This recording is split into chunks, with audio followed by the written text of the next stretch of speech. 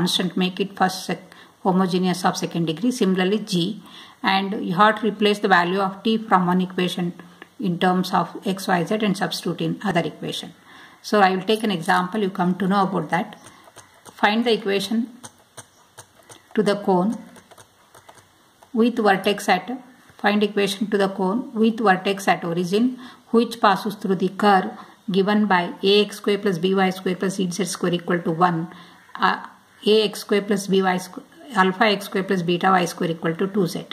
So now consider both the equations. These are the two equations like f and g and make them first homogeneous. So in the first equations LHS are second degree terms RHS is constant. So you have to make that also as a that is second degree here by introducing third variable t square.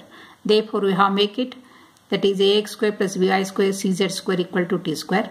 Let us take it is 3 so it is homogeneous of degree 2 and second equation alpha x square plus beta y square equal to 2z then you have to make it is 2z into t. So it becomes also a second degree.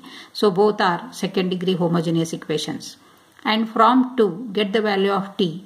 Alpha x square plus beta y square divided by 2z and substitute that in equation 3 then equation becomes 4z square into ax square plus by square plus cz square is equal to alpha x square plus beta y square whole square here which is the required equation of the cone. So this is the procedure. Similarly, find equation of the cone with vertex at origin and which passes through the given intersection of the two curves like this. So both are the spheres and these two spheres intersect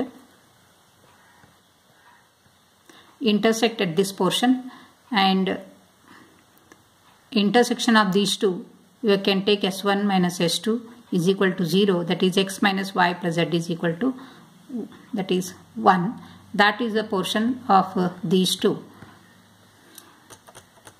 And now our guiding guiding curve this is the guiding curve for the cone.